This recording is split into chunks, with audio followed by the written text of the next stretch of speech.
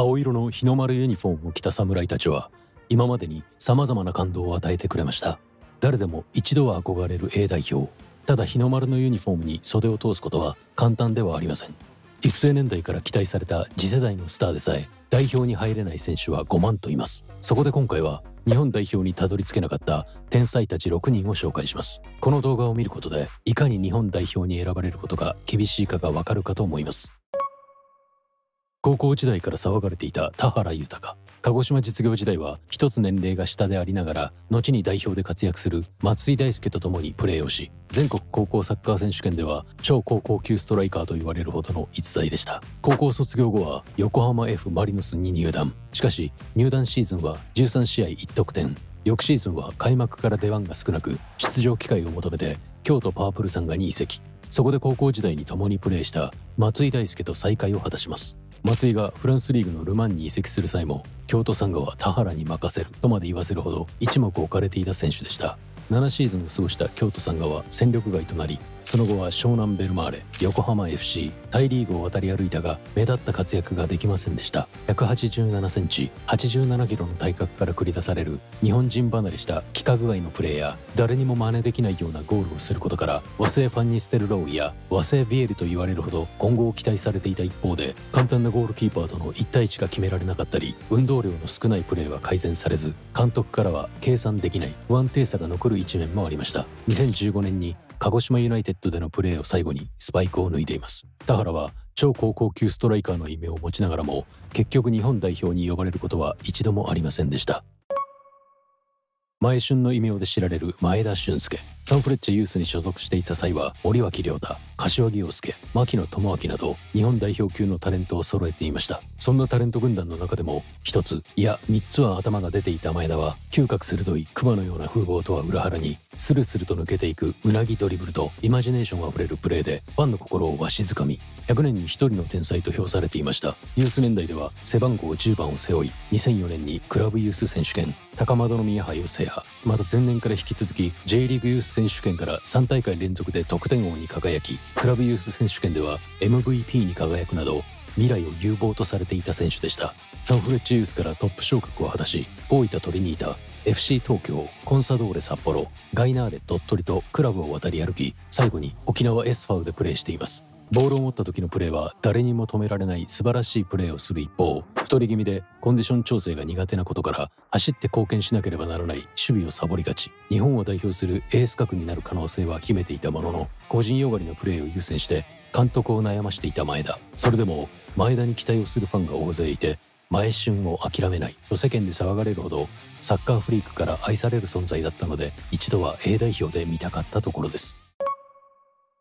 財前は読売ユース時代卓越したサッカーセンスを武器に頭角を現し中田英寿松田直樹が名を連ねる U17 の日本代表に選出その中でも背番号10番をつけ圧倒的な存在感を見せていました。その才能については当時 U17 日本代表のコーチを務めていた尾身幸隆も。全てのプレーは財をモデルに他の選手に教えていたと評価は高かった。あの中田英寿も財前のお手本を体育座りをしながら目を光らせて学んでいたといいます。95年にヴェルディのトップチームに昇格した財前はすぐにイタリアの名門ラツィオのプリマベーラに留学。留学後ヴェルディに戻り練習に参加していたところを左膝前十字靭帯を断裂。全治1年と診断されました。焦りから復帰を急ぎ半年後にスペイン一部ログロニスに移籍してチームに合流。ところが再び左膝前十字靭帯を断裂し試合に出場することなく早期退団を余儀なくされました。リハビリを経て1年後にヴェルディ川崎にて公式戦初出場。膝の調子が良くなった財前はクロアチア1部リーグのリエカでプレー後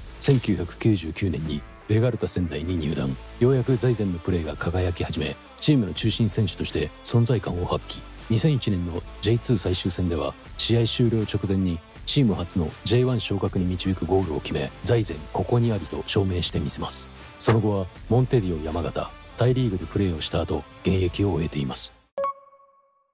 石塚が最初にインパクトを与えたのが1992年の全国高校サッカー選手権決勝。京都山城高校と長崎国見高校の一戦でした。山城高校に所属していた石塚は決勝の後半から投入されトリッキーなプレーを連発。国見高校と会場を翻弄。準優勝だったものの石塚は敗者でありながら MVP 級の活躍を見せていました。184センチと大柄な体格にスピードとスキルを併せ持つテクニシャンタイプで解説者であるセルジオ・エチゴは北アイルランド代表のジョージ・ベストのようだと称賛されるほどでした。石塚は高校時代から金髪ヘアにピアスをしながらプレーし当時は非常に珍しくテレビで見た視聴者からあの不良は何者だと苦情を寄せられたこともあったといいます。しかしながらプレーは本物で将来日本代表を保証されていた石塚は高校卒業と同時にヴェルディ川崎に入団。僕を出したら優勝できるんでよろしくお願いします。とインタビューで発言しビッグマウスぶりを発揮。ピッチ外でもテクニシャンと評されており遊びにも力を入れていたと口述しています。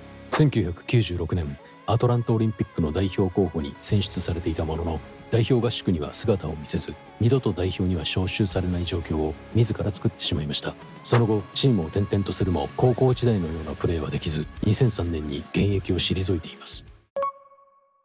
従来の高校サッカースタイルの常識を覆す個人技を重視したパスサッカーで2005年の全国高校サッカー選手権優勝を果たしセクシーフットボールの申し子とその名を轟かせた青木。2005年大会では凄まじいペースでゴールを量産し無名高校だった安を全国区にしました。決勝では優勝候補の鹿児島実業高校と対戦。当時安高校のメンバーには同期で楠上淳平乾隆を擁しており鹿児島実業優勢とされたもののゴールハンターと評されていた青木を中心にそれを阻止して優勝をします。ヒールパスや魔法をかけたかのようなドリブルで相手をかき乱しゴールを奪うことでチームで輝き続けた青木は次世代日本代表のエースストライカーとも言われていました。高校卒業後は J1 の名門であるジェフユナイテッド市原千葉に入団。U19 アジア選手権のメンバーに選出され U20 ワールドカップ出場権を決めるサウジアラビア戦で決勝点を決めたり準決勝韓国戦の起死回生の同点ゴールを挙げるなど活躍。順風満帆に見えた青木でしたが監督と馬が合わなかったことや狼のようにゴールを狙い続ける姿勢とは裏腹にボールを持ったらパスを出さないプレースタイルが影響し徐々に試合出場の機会が薄れていきました。ジェフユナイテッドで思ったようなプレーを披露することができずファジアーノ岡山バンフォーレ甲府ザスパ草津群馬と渡り歩き通算出場205試合で26得点という結果を残して現役を引退しています。